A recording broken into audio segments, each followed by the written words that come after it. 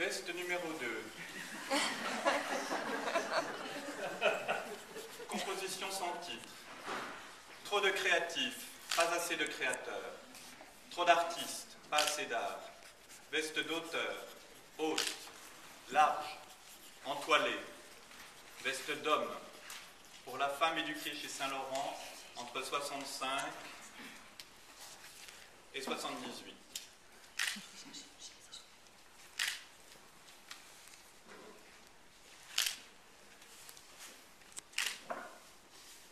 D'appoint. Ajustable en jupe à la de marin, gardien, du phare, rue de la Verrerie.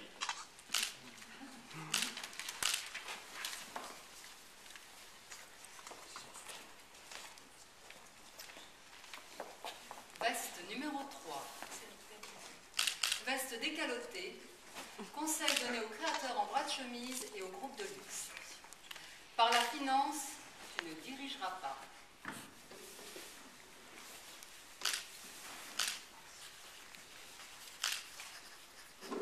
D'une économie paisible, tu vivras.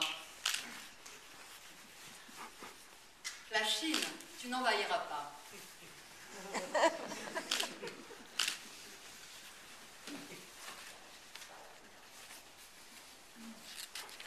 Chez Heiser Ackermann, tes manches tu retrousseras.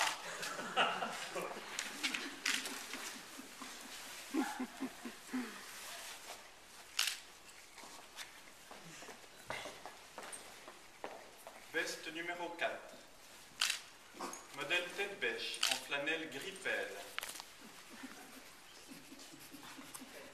Afin d'inverser la tendance paranoïaque et obsessionnelle qui consiste à nommer des créateurs vivants à la tête de maisons aux fondateurs disparus, nous nommons des créateurs morts à l'intérieur des maisons vivantes. Ainsi, nous annonçons l'arrivée de M. Charles James,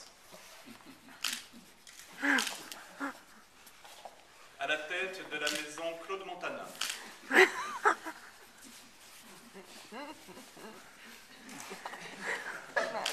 Nous appelons de tous nos voeux Monsieur Alexander McQueen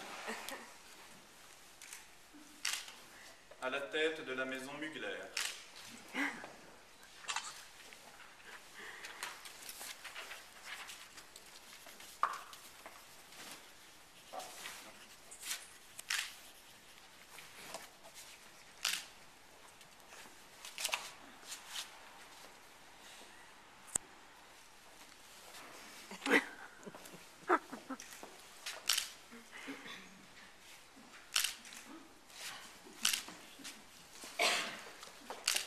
Veste numéro 5, vestige de veste, vertige de visite.